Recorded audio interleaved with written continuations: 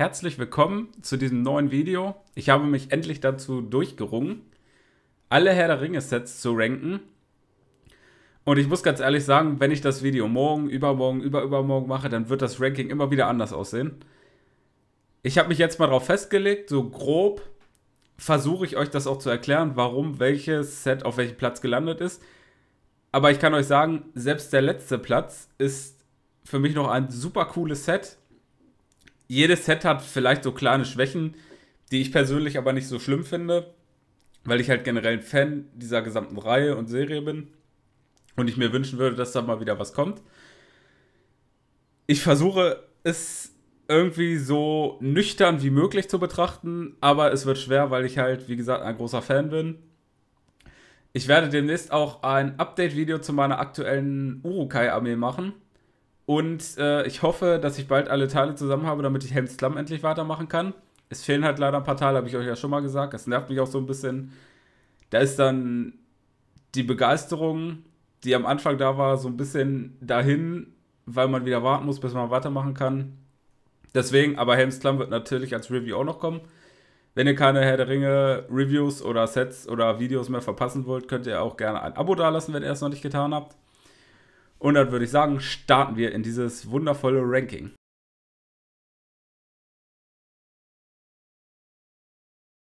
Und wir beginnen mit dem Set Shelob Attacks oder Kankras Lauer, je nachdem, äh, ob wir im deutschsprachigen oder englischsprachigen Raum unterwegs sind. Ich denke mal im deutschsprachigen. Und das Set ist auf jeden Fall in Ordnung.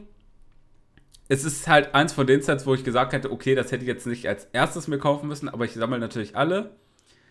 Und wir kriegen hier die Sam-Figur, die es nur in diesem Set exklusiv als Charakter gibt und auch als Minifigur. Deswegen ist dieses Set ein Pflichtkauf für jeden, der die neuen Gefährten zusammen haben möchte.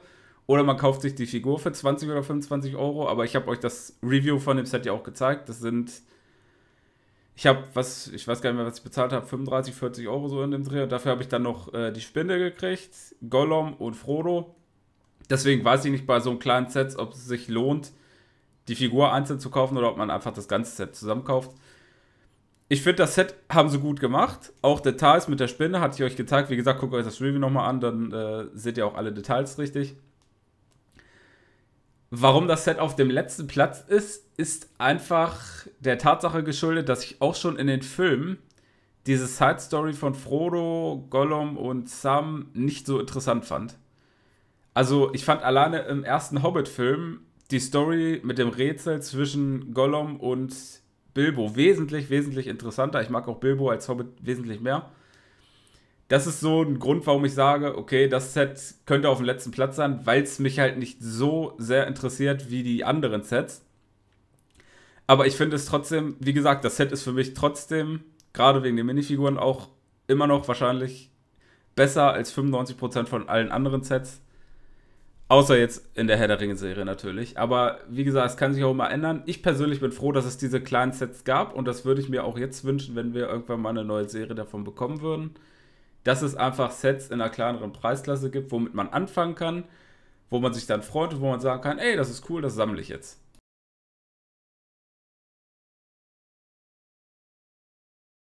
Als nächstes haben wir den Rat von Elrond. Auch coole Minifiguren drin. Elrond und Arwen super. Gimli und Frodo haben wir halt in mehreren Sets, deswegen sind die nicht so spannend. Gerade Frodo haben wir einfach eigentlich viel zu viel.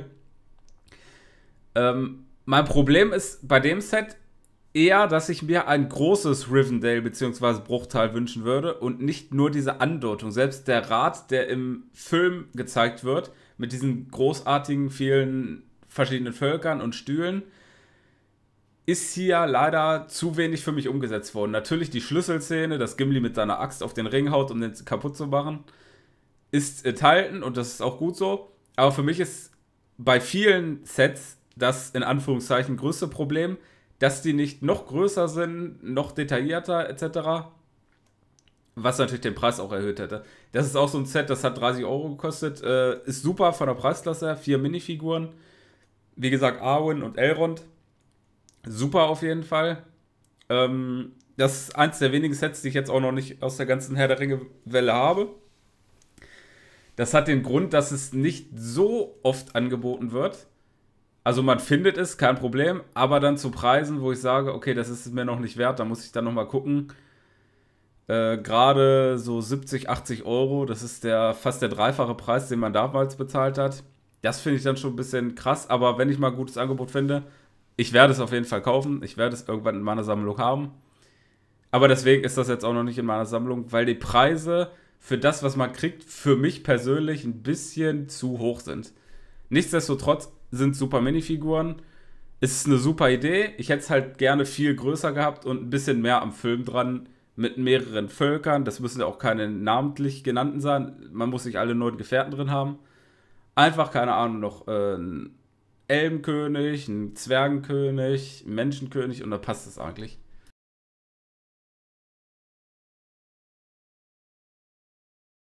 Auf Platz 10 haben wir Gandalfs Ankunft eins, glaube ich, der besten Sets, die es in der, dieser Preisklasse jemals gab. Was hat es gekostet? 12,99 Euro, 13,99 Euro in dem Dreh. Wir bekommen Gandalf, wir bekommen Frodo mal wieder und wir bekommen ein Pferd mit dieser Kutsche quasi. Und für den Preis, auch für damalige Verhältnisse, war das echt ein guter Deal.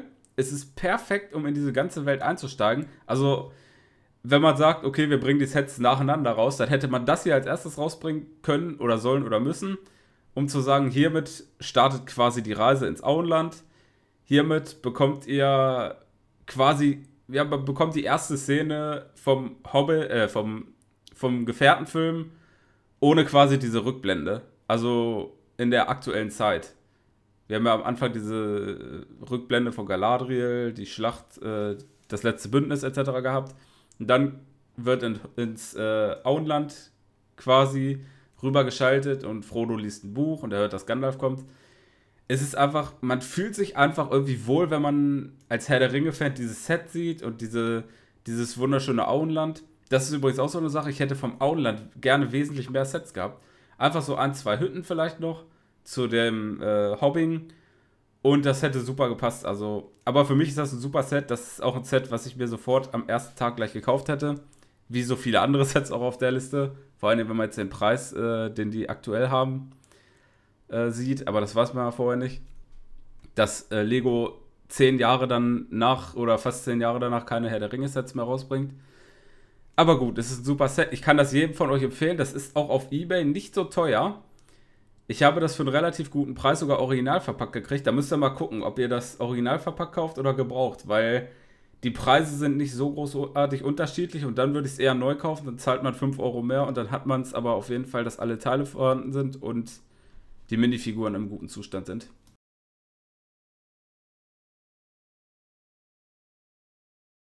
Ein weiteres kleines Set. Ich habe übrigens die Polybags, muss ich nochmal kurz sagen, nicht hier mit reingezählt. Das Urukai Polybag und das Elrond Polybag und das Frodo Polybag. Die zählen hier natürlich nicht mit rein, weil das nur Polybags sind und eine einzelne Minifigur. Ja, aber die kleinen Sets, die haben so viele kleine Sets rausgebracht, äh, die auch wirklich einen gewissen Wert haben. Denn man bekommt hier sehr günstig Saruman, der ansonsten nur im Turm von Ortank für. Also, ich will heute den Preis gar nicht mehr in den Mund nehmen, weil dieser Turm wird für 300 Euro teilweise angeboten, ohne Minifiguren. Mit Minifiguren ab 400 Euro aufwärts. Ich habe den irgendwann, keine Ahnung, für 250 oder 270 Euro gesehen. Da habe ich gedacht, okay, den muss ich jetzt haben, ne? kein Problem. Und dann gucke ich, da wollte der Verkäufer nur für den Turm, ohne die Minifiguren, so viel Geld haben. Das heißt, grob gesagt, für Grima, ich habe auch mal nachgeguckt, für Grima und für Saruman mit diesem exklusiven äh, roben Unterteil zahlt man irgendwie schon knapp allein 100 Euro. Nur für diese beiden Figuren. Dann ist natürlich noch ein Urukai drin, Gwahir, Gandalf, okay. Aber zum Turm von Orten kommen wir auf jeden Fall später noch, da könnt ihr euch sicher sein ja, es ist äh, ein cooles Set, ein kleines Set, um die beiden Zauberer zu kriegen. Man bekommt hier Saurons Auge, quasi ein Palantir. Auch ein cooler Print auf einfach so einen Minifigurenkopf. Gefällt mir auch sehr gut. Ich habe euch das Set auch gezeigt. Wie gesagt, auf der Liste dürften nur noch zwei, drei Sets sein, die mir fehlen. Aber die werde ich auf jeden Fall auch noch haben. Wie gesagt, diese kleinen Sets, guckt da ruhig auf Ebay, guckt da irgendwie, ob ihr die Sets günstig kriegt das ist meistens nicht so das Problem. Es sei denn, es ist irgendwas hart Exklusives drin, wie Sam zum Beispiel. Deswegen ist Kankras Lauer meistens auch ein bisschen teurer als Gandalfs Ankunft oder als das Duell der Magier hier.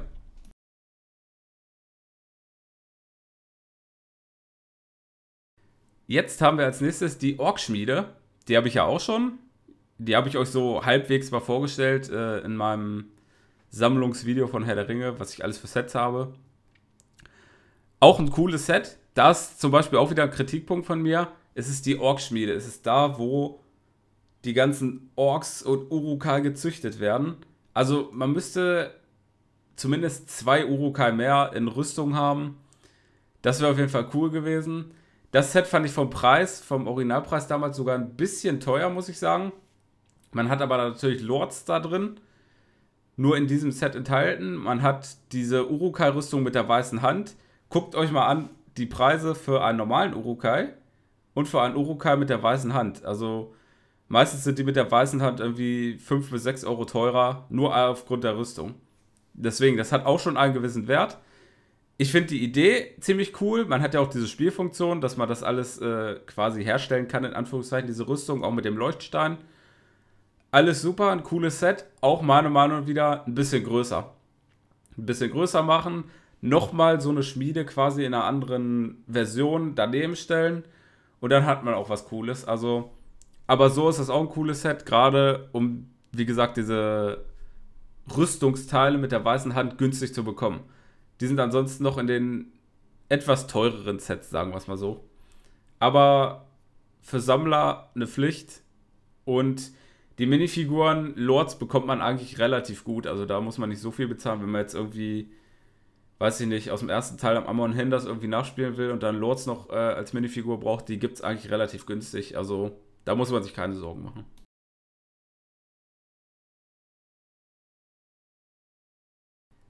Auf Platz 7 haben wir ein Schiff sogar. Ein wunderbares. Ja, es ist ein Korsarenschiff. Es sind im Prinzip Piraten aus der Mittelerde-Welt.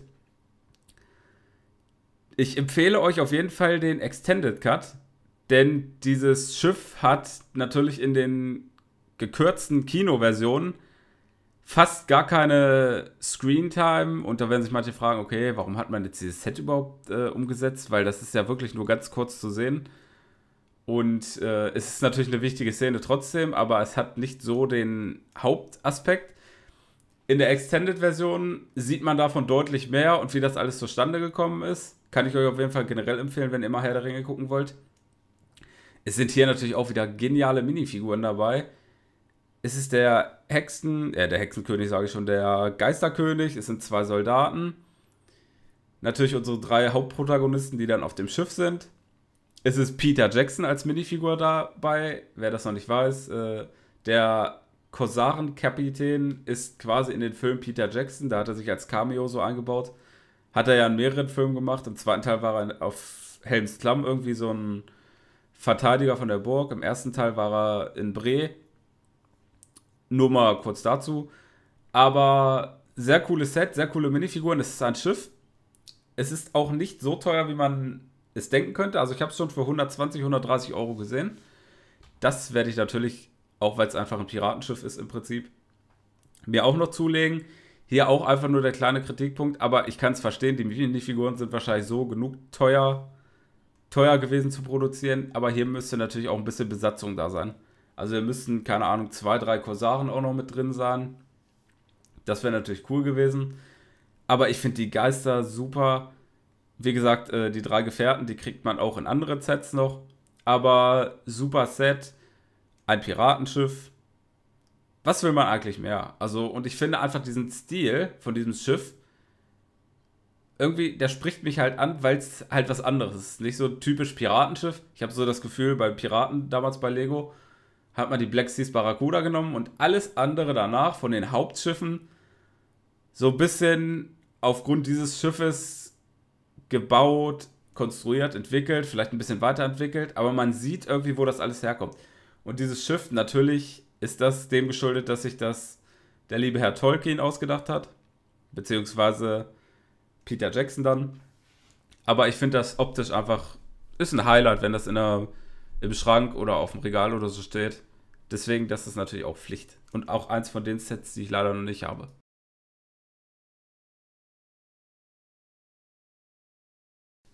Jetzt haben wir ein weiteres Set, was ich euch auch schon gezeigt habe. Angriff auf der Wetterspitze, wie bei einigen Sets vorher auch schon. als erstes der Kritikpunkt. Natürlich wäre es cooler, wenn die wirklich diese Wetterspitze gebaut hätten. Ich habe damals, wie gesagt, dieses Tabletop-Spiel gespielt. Da gab es alleine schon so einen Bausatz und äh, so eine Anleitung, wie man das nachstellen kann. Und das war natürlich was völlig anderes. Aus Lego-Stein kann man das, glaube ich, auch ganz gut nachbauen. Das Set hat 70 Euro gekostet damals. Deswegen ist das okay. Den Preis hat man übrigens locker wieder raus, wenn man alle Figuren kauft. Mary exklusiv hier als Charakter und als Minifigur drin. Wir haben zwei Ringgeister, wir haben ein schwarzes Pferd. Und wir wissen alle, man braucht natürlich neun Ringgeister. Und das sind der Hexenkönig. Da gibt es Kabul, den Ostling noch. Ich weiß nicht, wer den kennt. Ähm, ist auch quasi ein Ringgeist, der sich spezialisiert hat auf die Ostlinge und der der Anführer von denen ist. Und dann gibt es halt noch äh, sieben, sieben nicht weiter genannte. Jedenfalls ist mir das noch nicht so bekannt. Aber natürlich braucht man aus diesem Set definitiv von den Pferden ein paar mehr und äh, natürlich definitiv Mary. Also und die Ringgeister generell. Das Set ist eine schöne kleine Kulisse, um diese Szene so ein bisschen nachzustellen. Es könnte aber wesentlich größer sein. Es könnte wesentlich höher sein. Das ist auch prädestiniert. Eigentlich kann man fast jedes große Herr der Ringe-Set nehmen, das als UCS-Set nochmal rausbringt für 300 Euro und das dann noch detaillierter und noch größer machen. Das wäre natürlich eine coole Sache, auch bei dem Set hier. Nichtsdestotrotz ist natürlich auch wieder ein Muss um die Gefährten. Ich habe ja euch auch ein Video gemacht, wie man alle Gefährten bekommt. Es ist ein Muss, wenn man nicht 30 oder 35 Euro nur für Mary ausgeben möchte, dass man sich dieses Set irgendwie zulegt. Am besten gebraucht irgendwie. Da kann man meistens auch einen guten Deal machen. Also, ich kann nicht meckern. Ihr wisst schon, es gibt eigentlich immer nur den Kritikpunkt, dass die Sets größer sein könnten. Aber naja, mal gucken, was wir als nächstes haben.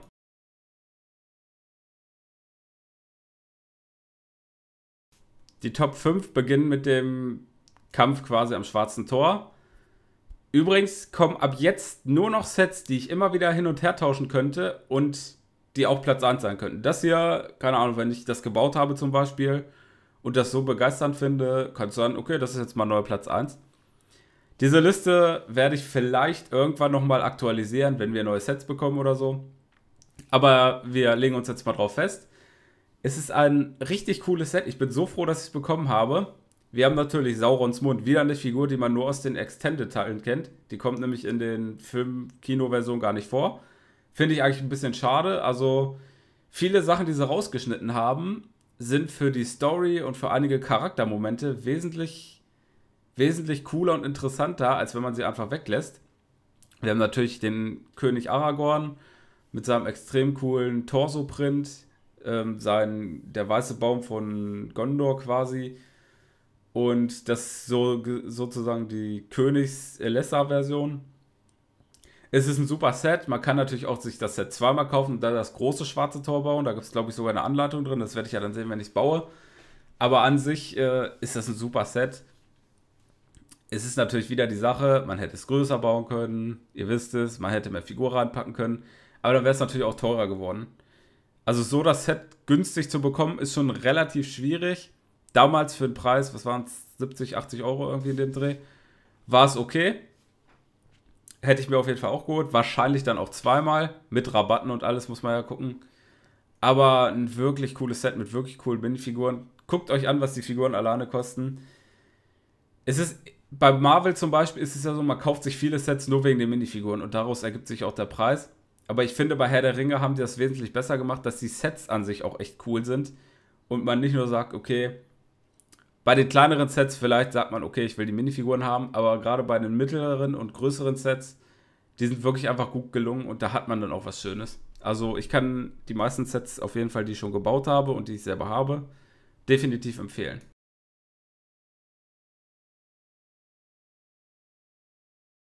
an alle Star Wars-Fans, ihr müsst jetzt stark sein, denn das hier ist das beste Armeebilder oder Battle Pack, was Lego jemals rausgebracht hat.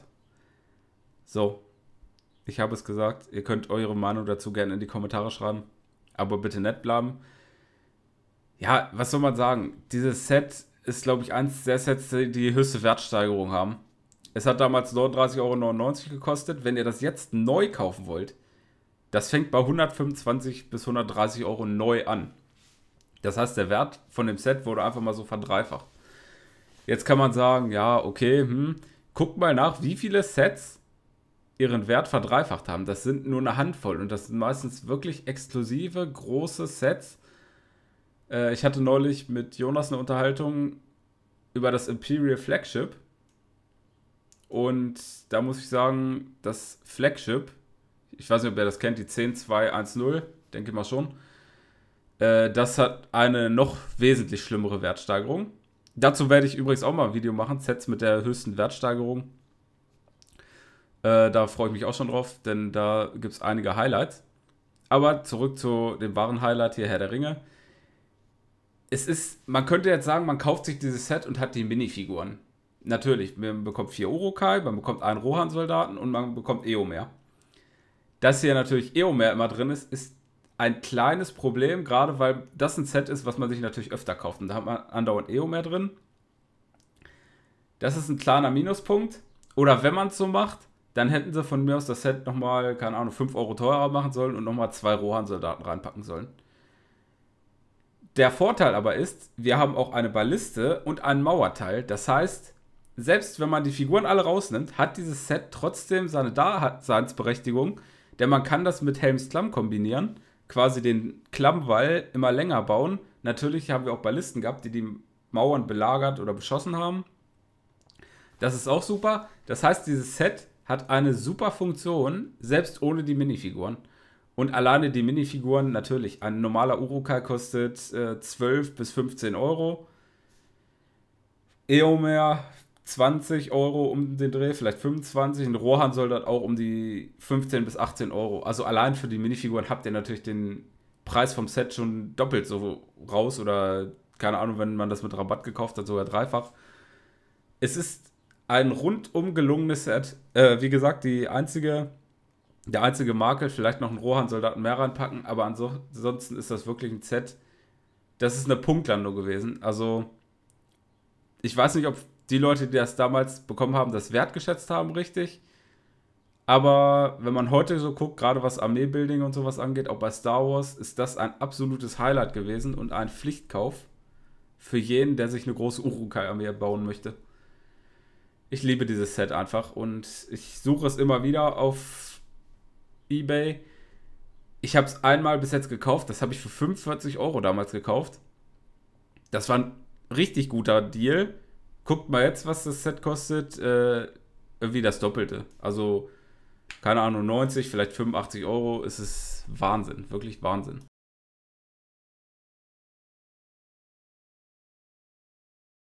Die Top 3 werden angeführt von Helms Klamm. Und ihr fragt euch jetzt sicher, ja, du hast doch immer gesagt, du willst unbedingt Helms Klamm haben. Das ist das großartigste Set aller Zeiten. Es ist ein mega cooles Set. Ich freue mich riesig, dass ich es für so einen guten Preis bekommen habe.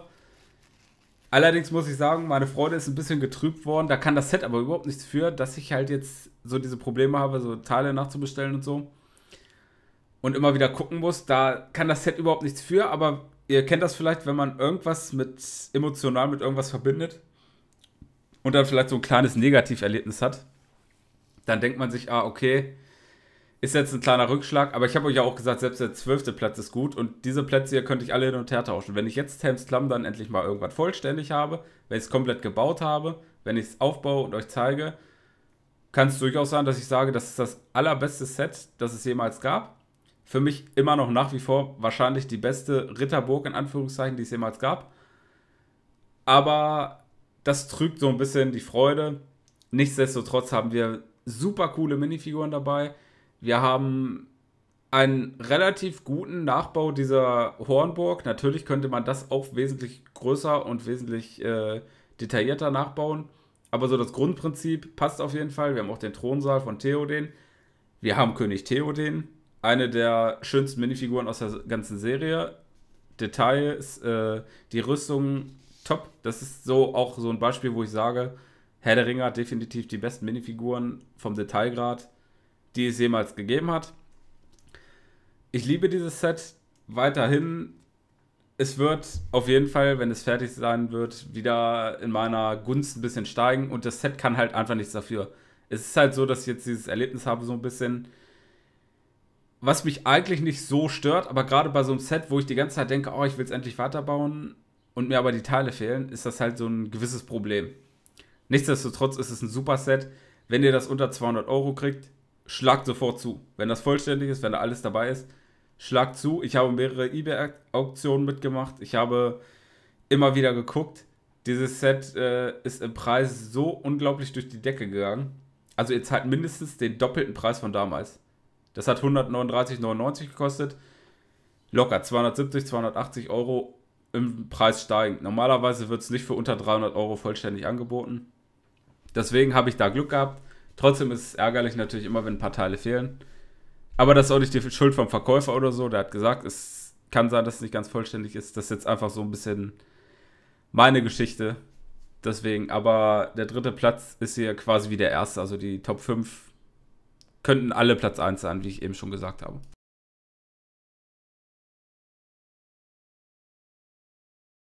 Auf Platz 2 haben wir die Minen von Moria.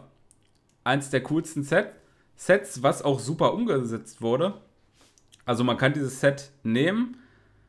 Mit ein paar einfachen Handgriffen und ein paar Steinen kann man sich diese Szene perfekt nachbauen. Also, wie sie im Film ist. Wir haben hier Boromir drin, einen meiner Lieblingscharaktere, vielleicht sogar meine Lieblingsfigur. Ihr habt ja bestimmt mein Herr der Ringe-Ranking gesehen.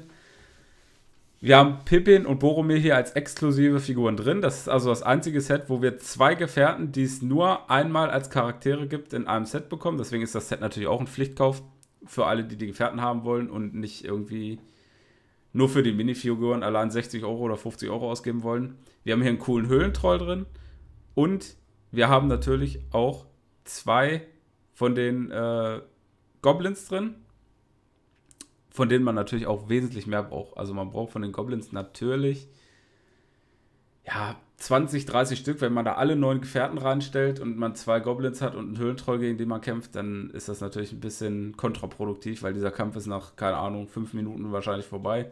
Der Troll braucht ein bisschen länger, bis er down ist.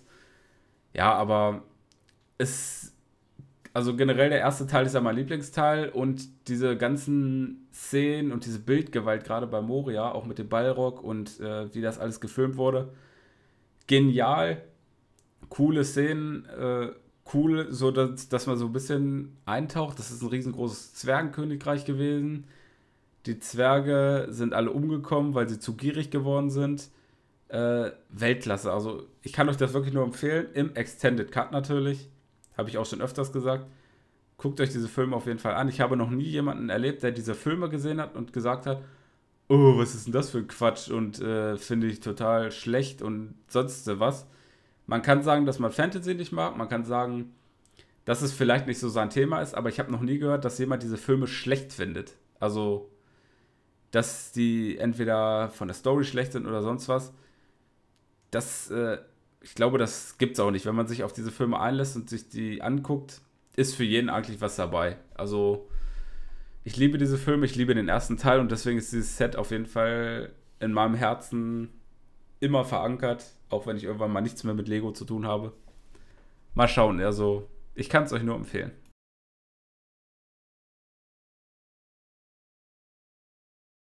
Und Platz 1 alle, die sich auskennen, wissen es natürlich. Wir haben den Tower von Ortank.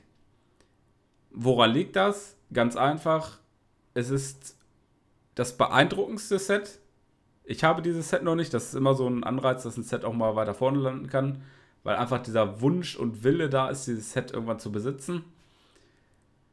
Es ist. Es hat auch einige Probleme, muss man sagen, das Set. Der Tower ist top. Da kann man gar nichts sagen. Den finde ich einfach nach wie vor, auch wenn man den mal live gesehen hat, wie groß er ist und alles. Ich finde, der End ist nicht so ganz gelungen. Das ist der Baumbart.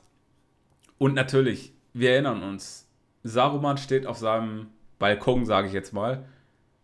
Und da unten steht eine Armee von Zehntausenden Urukai, bereit, alles Leben zu vernichten, was ihnen in den Weg kommt. Und wenn man dieses Set hat und den Saruman da oben drauf stellt, dann guckt er auf, ja, ein Urukai. Und das ist halt ein, natürlich ein Riesenproblem. Also, dieses Set war ja damals auch schon extrem teuer, ist heute noch teurer geworden. Im Endeffekt kann man sagen, gut, dass da nicht noch mehr Urukai drin sind, dann wird es wahrscheinlich noch teurer. Aber hier müssen 5, 6, 7, 8 vielleicht sogar 10 Urukai einfach drin sein.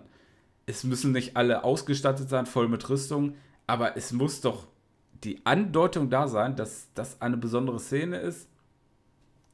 Natürlich ist das jetzt eine andere Szene, denn Baumbart, als der angreift mit seinen Endfreunden, ist die Armee schon ausgerückt, aber trotzdem, äh, das finde ich wirklich schade, denn Gewahir passt ja auch nicht rein. Also Gewahir ist ja der Adler, der hat ja Gandalf damals gerettet ähm, im ersten Teil. Also quasi im ersten Teil ist, ist dann eher im. Ja, nee, doch, im ersten Teil war es klar. Nee, alles gut. Ich habe mich gerade vertüttelt. Erster Teil ist richtig. Und ja, also das ist natürlich sehr schade. Nichtsdestotrotz, das Set als UCS-Set nochmal rausbringen für 300 Euro oder so, das wäre ein absoluter Traum. Es müssen natürlich eigentlich mehr Minifiguren rein, das ist ganz klar aber einfach, weil ich dieses Set so cool finde, weil das so gewaltig ist, weil ich es unbedingt haben möchte irgendwann zu einem guten Preis, äh, wird dieses Set natürlich erstmal die Nummer 1 bleiben, aber wie gesagt, es kann sich jederzeit ändern. Es kann auch sein, dass die Minen von Moria oder Helm Slum bald diesen Platz einnehmen, wenn ich die irgendwann mal gebaut habe. Deswegen, also, ja, ich freue mich. Wir haben es geschafft. Ich hoffe, ich habe euch nicht zu sehr gelangweilt. Aber es geht ja um Herr der Ringe. Wie kann man da gelangweilt sein? Und einen Grund zu haben, ein Herr der Ringe-Video zu machen, ist immer schön. Ja, das ist mein Ranking gewesen. Was haltet ihr davon? Wie findet ihr diese ganzen Sets? Hättet ihr das ähnlich gerankt? Sind für euch andere Sets vielleicht auf Platz 1? Gibt es irgendwelche kontroversen Plätze? Schreibt mir alles gerne in die Kommentare. Ich werde, wenn ich mit den Hobbit-Minifiguren durch bin, auch dazu ein Ranking machen zu den ganzen Sets. Das wird mir, glaube ich, ein bisschen einfacher fallen, muss ich sagen. Aber an sich äh, finde ich es immer schön, wenn wir über Mittelerde reden können, wenn ich euch da was zeigen kann, wenn wir die Sets durchsprechen können. Ist eine super Sache. Schreibt mir eure Meinung, wie gesagt, gerne in die Kommentare, wenn euch das Video gefallen hat. Ich habe hier noch äh, eine ganze Playlist verlinkt, quasi in der Endcard jetzt, äh, wo ihr die ganzen Herr der Ringe Sets und Videos, die ich gemacht habe, sehen könnt. Lasst wie gesagt gerne ein Abo da, wenn ihr es noch nicht gemacht habt, um keine weiteren Videos mehr zu verpassen, gerade aus der Mittelerde-Welt natürlich. Und dann freue ich mich aufs nächste Video. Ich freue mich, wenn ihr wieder dabei seid. Und wir sehen uns und hören uns bald wieder. Macht es gut.